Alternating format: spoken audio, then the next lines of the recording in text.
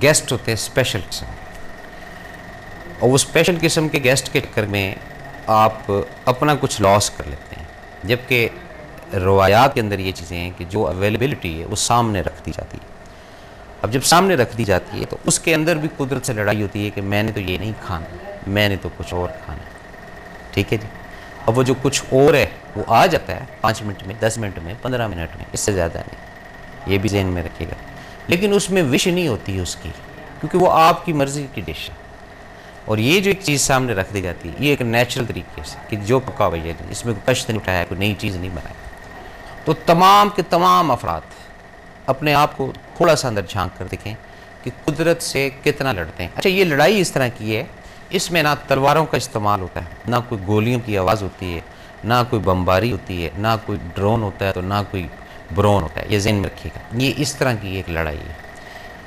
दिन में कितनी दफ़ा लड़ जाते हैं? ये सोचें शायद अंदाज़ा ही ना हो। मैंने तो मेजर मेजर चीज़ें आपको जो मेरे ऑब्जर्वेशन के अंदर आई, वो बताई हैं कि ये कुदरत से लड़ने की बात होती है। तो एक शख्स 50 प्लस का है। वो बोले कि नहीं जी, मैं तो 25 प्लस का ये क्या है? ये कुदरत से लड़ाई कर रहे हैं। वो एक्सेप्ट ही नहीं कर पा रहा कि वो इस वक्त इस स्टेज पर है।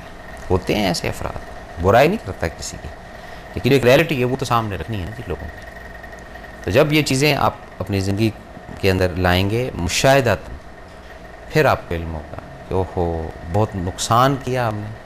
और हम उस ज़माने से जब आपको ये चीज़ क्लिक होगी कि वाकई हम तो कुदरत से ही लड़ते आए।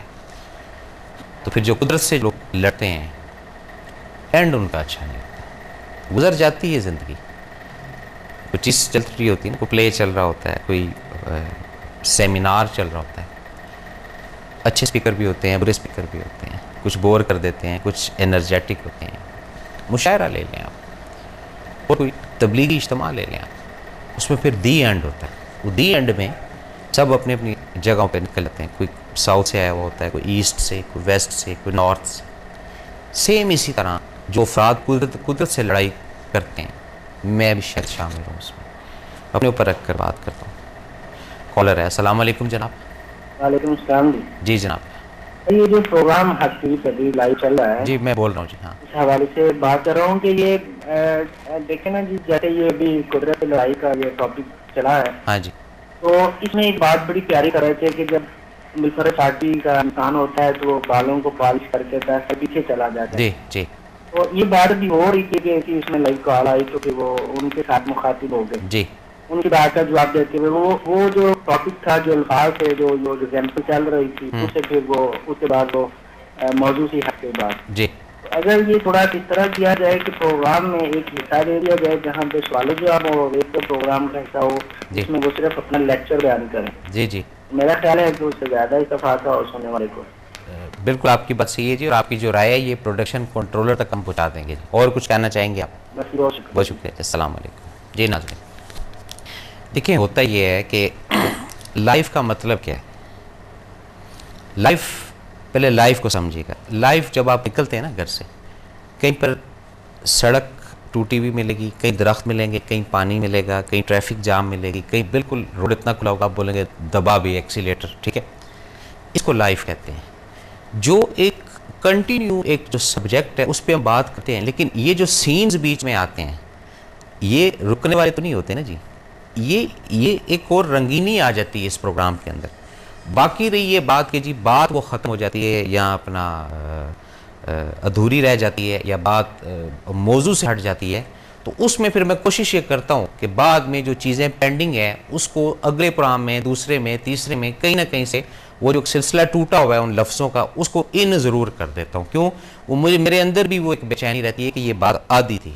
बहरहाल वो एग्ज़ाम्पल मैंने जो दी थी आपको कि वो दस साल जब पीछे आप रिवर्स में चले गए तो आपने तो कहा कि कमाल हो गया, मैं तो फोर्टी प्लस था थर्टी के करीब मेरी एज हो गई है फिर इंसान मज़ीद कुदरत से लड़ाई के लिए उन और कलर्स को और उन रंगों को ढूँढने के चक्कर में पड़ जाता है कि जनाब ये फलानी कंपनी का कलर ने तो बड़ी ग्रेस कर दी। अब कोई ऐसा कलर हो कि दस की जगह बीस साल में पीछे चला जाए और ऐसे अफराद भी हैं, ये भी मैं बता दूँ, मैंने देखे हैं उनको पर्सनली जानता हूँ उनको। ये क्या ये सब कुदरत से लड़ाई की बात है। और जो एक नेचुरल सरकमस्टांसिस के अंदर चलने वाले अफराद हैं, उनके ऊपर रब मेहरबान है, उनके ऊपर फजल भी है, करम भी वो समझते हैं इस चीज़ को कि इस एज में जाके जो बॉन्ड्स हैं, उन्होंने थोड़ा सा हिलना है अपनी जगह से। वो रेजिस्ट नहीं करते फिर वो कुदरत से लड़ते नहीं हैं। और जो एक्सेप्ट ही नहीं कर पाते इस चीज़ को कि इस एज में जाकर हड्डियों ने, हड्डियों की ये वर्थ रहेगी, ये इसकी कमज़ोरी बनेगी। और जो इसको समझता है, उस हिसाब से फिर वो अपनी लाइफ को गुजारना शुरू फिर वो अवॉइड करता है। ऐसी चीज़ से भाग दौड़ से एक्सरसाइज से, ऐसे इज्तम से जहाँ पर उसको धक्का ना लग जाए। ये तमाम की तमाम चीज़ें हमने देखनी है। तमाम की तमाम चीज़ें जो है, ये हमने समझ के चल लेंगे जब हम समझ लेंगे, फिर हमें अंदाज़ होगा कि हम कुदरत से कितना लड़ते हैं। दिन में या रात में या अकेले में या किसी के साथ। टोटली नेचर के ख़िलाफ़। और इस वार का एंड जो है, ये चलता रहेगा। ख़त्म नहीं होगा। लेकिन इसके अंदर कमी कर सकते हैं। उन उन चीज़ों की जो करने से क्या होगा? बाल अगर चांदी के कलर के आएँगे तो क्या होगा? मज़े की बात आपको बताता हूँ। मल्टी नेशनल कंपनी जो है, वो जो नेचुरल कलर्स हैं ना बंदों के पूरी दुनिया में, उसके मुताबिक रंग बनाते हैं। ये जेन में रखिए। अब जो चांदी वाले बालों का कलर इसका भी एक शेड होगा। है, ठीक है कि नहीं? अब ये आप थोड़ा सा रुजू करें नॉर्वे साइड में या किसी कंट्री में जाके तो आपको वो पूरी की पूरी चेन ही नज़र आएगी। वहाँ अगर तीन बिलियन लोग रहते हैं या चार बिलियन रहते हैं, उन सब के नेचुरली बाल ही उस रंग के। कॉलर है। अस्सलाम वालेकुम जनाब। वालेकुम सलाम जी। जी सर। टीवी की आवाज़ आस्ता कर जी। जी जनाब हुक्म करें। हाँ जी आप बहुत सोनी बातें करा रहे हैं। मैं बहुत सुन के तसली बख्श हो गया हूँ। बड़ा परेशान रहता हूँ हर टाइम अच्छा जी। तो शुक्रिया अल्लाह शुक्र हर हाल से कर रहा हूँ। अच्छा जी। तो नमाज़ जो है अक्सर मेरी बेगम पढ़ती है तो मैं उसको कहता हूँ तैयार होकर पढ़ा करो। ठीक है। मेकअप करके सोने कपड़े पहन के अल्लाह पाक बहुत खूबसूरत है। तो उसके सामने खूबसूरत बन के हाँ जी। ठीक है जी। दूसरी बात ये है कि जो बालों को लगाती है तो मैं कहता हूँ ये तो लगाओ हर हाल में उसका शुक्र अदा करो परेशान ना हो। हाँ जी। हाँ जी। ये हालात बहुत जरा सख्त रहते हैं। अच्छा जी। हम तो हर हाल में उसकी रजा पे रहते हैं। जी बिल्कुल आपने अच्छी बात तो की आपकी है बातें सुन के और दिल तसली में आ गया। अच्छा चलो जी शुक्र अल्लाह का के बाद आपका जो दिल है वो तसल्ली में आ गया। और कुछ कहना चाहेंगे? हाँ जी दुआ करें हमारे और घर के जो हालात हैं ये बेहतर हो जाए। देखें अगर आप शुक्र अदा करते हैं तो फिर हालात तो ना ना बताएँ किसी को। इतने सारे लोगों ने आपके हालात सुन लिए। फिदा क्या हुआ? हाँ दुआ करानी जी दुआ जितने भी नाजरीन इस प्रोग्राम को देख रहे हैं भाई साहब के लिए दुआ करें अल्लाह पाक इनकी परेशानियाँ ख़त्म हाँ कर हाँ। ठीक है जनाब? है बहुत शुक्रिया जी वालेकुम। जी नाजरीन तो बात हो रही थी क्या? कुदरत से लड़ना कुदरत से लड़ाई करना। अब, इसके अंदर दूसरे फैक्टर्स भी हैं। जैसे तयन है मौत का, ठीक है कि इस वक्त इस बंदे ने मूव कर जाना। है उसके अंदर भी लड़ते हैं हम लोग। जितना आप कहते हैं ना कि ज़ोर लगा सकते हैं, वो लगा देते हैं।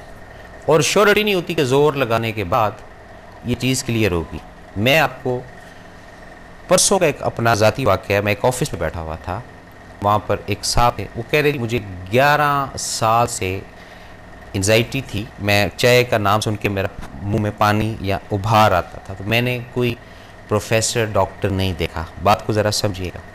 कह रहे, जी बाई ट्रेन जो है, मैं पंजाब जा रहा था तो उकाड़े पे एक शख्स चढ़ा। वो कोई फक्की थी या चून था। उसने कहा, तीस रुपये की बॉटल वो मैंने दो ले ली एहतियातन बकौल उन साहब के। कह रहे, जी, वो मैं उसी तरह करके उसको किया और बिल्कुल स्टिल उसके बाद मुझे लाइफ में कभी कोई प्रॉब्लम ऐसी नहीं तो ये जो श्योरिटी वाली बात होती है ना, कि जी इस बीमारी से, इस चीज़ को आप बचा जाएँगे, ये नहीं है।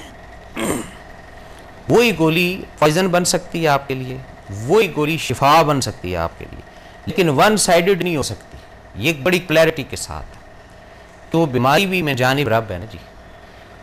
क्लैरिटी से कहा गया जब मैं बीमार होता या होती हूँ तो शिफा रब की तरफ़ से अल्लाह ताला की तरफ़ से। लेकिन हम कुदरत से लड़ाई करते हैं। फेवर हो गया, ठीक है हो गया। दो तीन दिन नहीं गुजारते हम लोग। फटोफट स्पीड से एंटीबायोटिक बड़ी फ़ेमस है। कुछ इतने की आती कोई इतने के वो तीन दिन लिया चलो जी, बच्चे भी ठीक हो गए, खुद भी ठीक। ये कुदरत से लड़ना है। जबकि नेचुरली कम अज़ कम तीन चार दिन की साइकिल कंप्लीट होनी चाहिए फीवर की। पूरा ऊपर से नीचे नीचे से ऊपर। लेकिन यहाँ है ही नहीं मामला। ये हटते हैं हम लोग। क्यों हटते हैं? कहते नहीं ये अगर हो जाएगा तीन दिन तीन दिन ऑफ़िस नहीं जाएँगे तो कैसे गाड़ी चलेगी? पैसे कहाँ से आएँगे? निज़ाम ज़िंदगी का कैसे चलेगा? ये हमारी वर्त है। ये हमारी ज़िंदगी है। ये हमारी सोच है। कुदरत से लड़ाई हर वक्त। और जिस दिन रब तोफ़ीक दे, हिम्मत दे, इस लड़ाई को हम ख़त्म कर दें। अंदर से। जो जिस कैफियत जिस हाल में उसको एक्सेप्ट कर लें अंदर से। उस दिन उम्मीद है वो राज़ी होगा, खुश हो जाएगा। नहीं तो वो भी समझता तो है हमें, जानता तो है, उसी की बनाई हुई चीज़ें हैं। पता है उसको कि जो इंसान है, बहुत बड़ी फ़िल्में ये अंदर ही अंदर रजिस्ट करते रहते हैं। सब जानता है वो वो चीज़ छुपी हुई नहीं है उससे। हम नहीं जानते, हम नहीं समझते। नाजिन इसके साथ ही अपने मेज़बान एस एम अफसल को अगले प्राम तक इजाज़त, अल्लाह हाफिज़।